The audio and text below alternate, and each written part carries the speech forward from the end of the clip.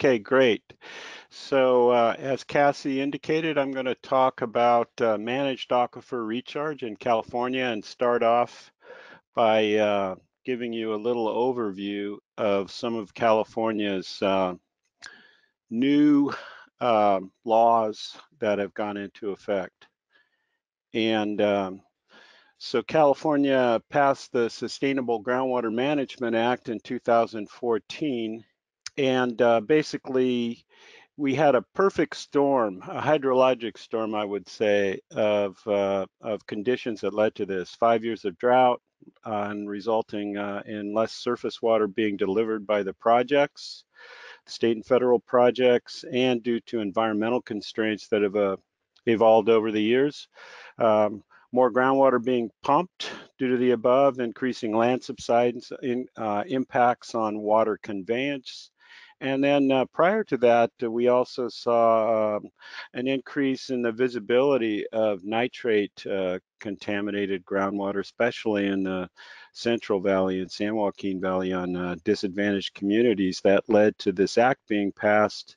And basically, it requires three things. One, you have to create a new uh, groundwater sustainability agency if you're within a SGMA basin and then you have to create a new groundwater sustainability plan by either January 2020 if you're critically overdrafted or January 2022 for the other basins and then become sustainable within 20 years.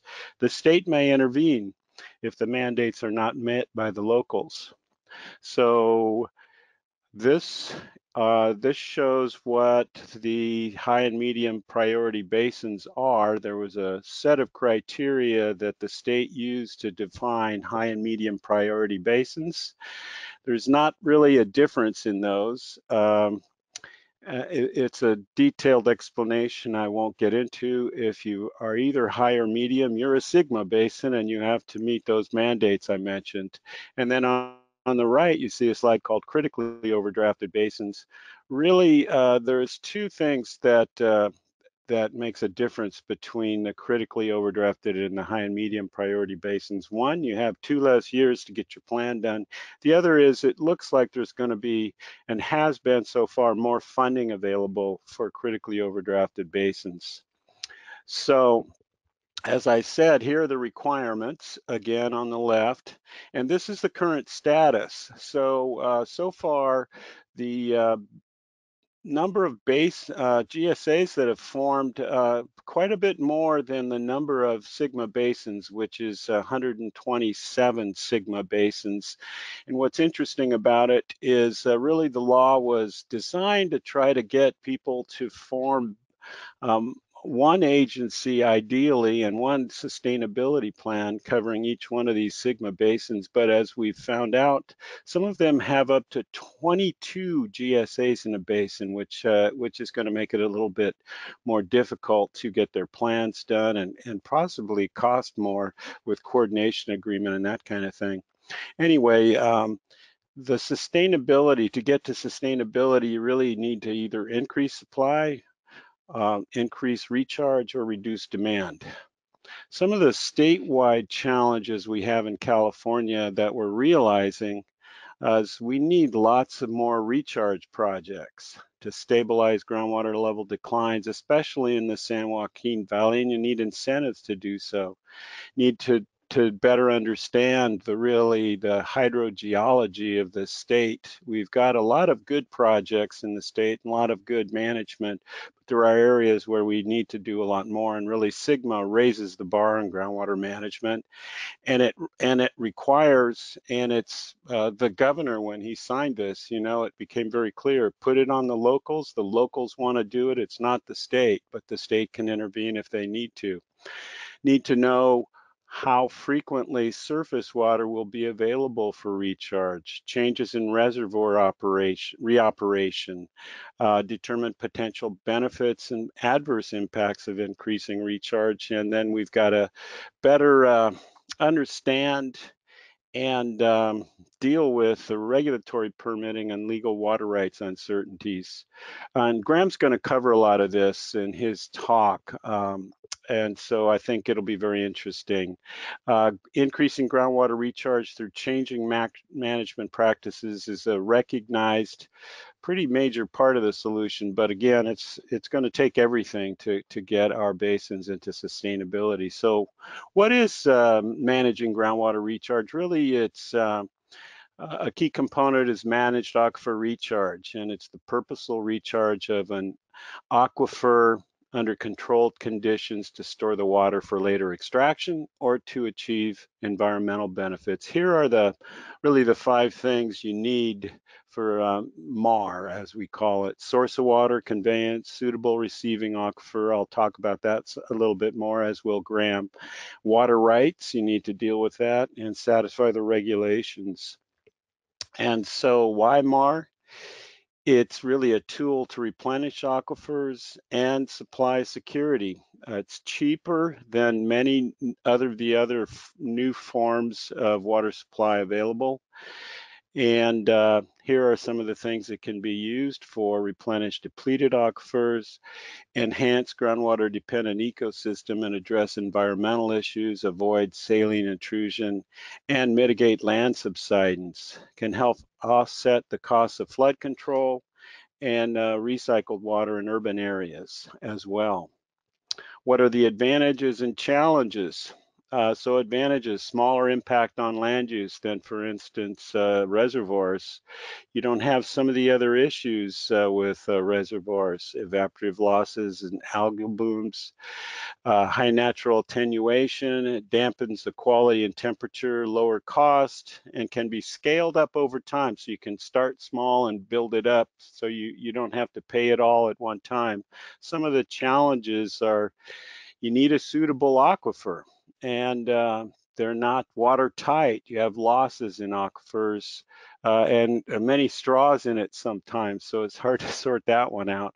Surrounding saline water may mix. You can have reactions with source water, um, with the groundwater and aquifer matrix, and infiltration recovery rates can be limited by plugging and uh, potentially higher operations and maintenance. Um, it's a proven and well demonstrated technology. It has been over time, the economics, they can be mutually beneficial projects as well, um, and adaptable to different settings, opportunities, etc. Um, and uh, you know, you can do it in fresh water, brackish or saline water, use drinking water, recycled water, storm water, or uh, additionally groundwater as a source. Uh, some places are doing that, pumping it out of one aquifer and putting it into another. Some of the most common types of MAR, and they're designed governed by the hydrologic setting and hydrology. I know uh, Graham will be talking a lot about uh, surface infiltration and then Van's going to talk about injection, uh, more, more focused on injection. So you can have infiltration and spreading basins, aquifer storage and recovery wells, where you have one well to put the water in and take it out. Another one is an ASTR, which includes treatment. So if you have a long travel distance, you can get some treatment out of the aquifer. There are dry wells, bank, uh, riverbank filtration type of setups, sand or check dams, distributed products, including uh, FloodMAR, which uh, Graham will touch on, and then low impact development, where you're using a variety of distributed options to uh, put water into the ground in, in uh, urban settings. Some of the design considerations and uh, detailed hydrogeologic uh, characterizations key. And um, there just isn't enough time to go into the details on that. And I think Graham will cover quite a bit of that. Source and receiving water characterization. Here are some of the things you want to test for because you're going to put different water into the subsurface and it's going to react, whether that's a, a, benefit or can be negative. And one of the biggest challenges is clogging it. It just happens, whether it's physical, chemical, mechanical, or biological. You can manage that through design, but you have to know what you're designing for by doing the detailed studies up front, and then you can also treat. I'm going to now just run quickly through some examples of some of the larger projects we have in the state, and you'll see uh, that Santa Clara Valley Water District up in the left corner where it's situated. It's on the in South San Francisco Bay, and you see the uh, district recharge ponds and facilities in blue. And this uh, was really formed, this district was really formed, uh, in, and it took different forms before it actually became the water district, but it formed to deal with land subsidence and flooding in the San Jose area due to over extraction or groundwater mining. Uh, they have three over 300 acres, nearly 400 acres of recharge ponds, 91 miles of controlled in-stream recharge. They recharge approximately 100,000 acre feet a year. And uh, here's an example of one of the very beautiful uh, recharge ponds, which is multi-benefit. Moving to the west, um, east, I'm sorry, uh, Sacramento area, the capital, you can see where it says Sacramento in the uh, lower part of the slide. That's about where the capital is. Uh, and so this is the um, Regional Water Authority, Sacramento Groundwater Authority. I wanted to give this as an example. So this is actually 17 districts. You can see the amount of groundwater extraction uh, they did in 2015. It's surrounded by the American River and the Sacramento River. They had a lot they have a lot of surface water, in other words. And what they did uh, to address uh, management here is they cross-connected all these districts and uh, they ha then uh, have a very extensive conjunctive use program where they can uh, exchange uh, surface water for groundwater and as a result they have actually successfully stored nearly 150,000 acre feet of water over the last 10 years. They put a water accounting framework in place and they've set the in-stream flows to avoid fisheries impacts. You can also see in the graph up on the left that they've also done a pretty good job of reducing the amount of the water they're using and the blue is the groundwater and uh, red is total surface water and the image there is some of the science they're doing that's uh, uh, logging an existing supply well to uh, better understand the geology.